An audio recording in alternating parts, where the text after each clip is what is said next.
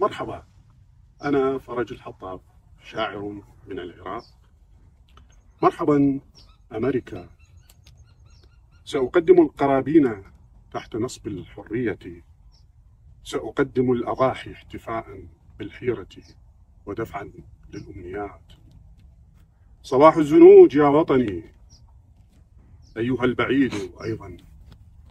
ها أنا عار من التاريخ وحمرابي عاطل عن تلميع مسلته بينما نبوخذ نصر بلا جنود أو عربات حتى بلا مجد منشغل بتسريح لحيته ويحلم عار من الحضارة ربما نسيتها في بطون الكتب أو عند التماثيل والجرار المحطمة. عار من الذاكرة. هل جئت على الثور المجنح أم على بساط الريح؟ هي الصدفة إذا أو الموج. جيناتي محملة بالطين عقلي مجلود بسياط الوطن. كيف سأدخن مساء مع الهنود الحمر؟ ورياض أحمد يأنو ويأنو بحشاشتي سهمك موبا وعقبك عالي باقي الفضاء أيها الجنوب سأرسمك عند حدود أريزونا. سأطلق أسماءك ثانية. عسى أن تفقس في لحظة حنين. سأطعم الصبار بالنخيل. ربما يولد الهور من جديد ويرتفع القصر. هنا لا يوجد ناي أو خضر الياس يهب رئتيه للفضاء. هنا لا شيء وكل شيء.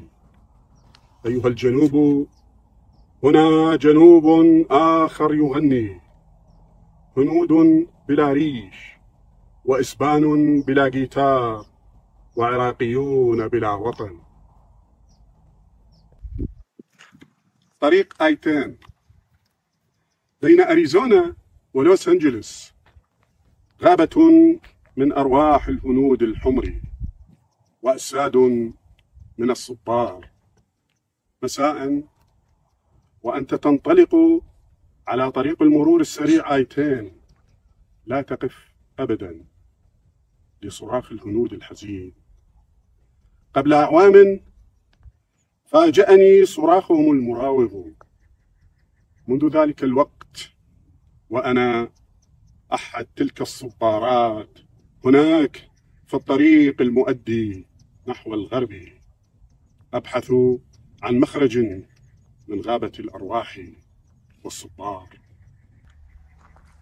خدر. أتعثر بحروفك في ظهيرة النسيان ومساء يجمعها المطر في خزائن الذاكرة منذ ليلتين والمطر يدفع بحروف لا حصر لها نحو زوايا المدينة. حروف سقطت من كلماتها وجملا شوهتها خطى العابرين أنت وأنا فقط. نراقب مشهد الجريان دون ما ملل. أنت مشغولة بجمع الحروف وأنا أتجاهل ما يسقط منها. ليس ثمة أمل لصناعة كلمات حية لا تهجرها حروفها. أنا مع المطر فيما يسربه لخزائن الذاكرة ومع المتاحف أيضا. ابتكارات الذاكرة الأكثر نجاحا في هذا الجريان الطويل. ما أعنيه؟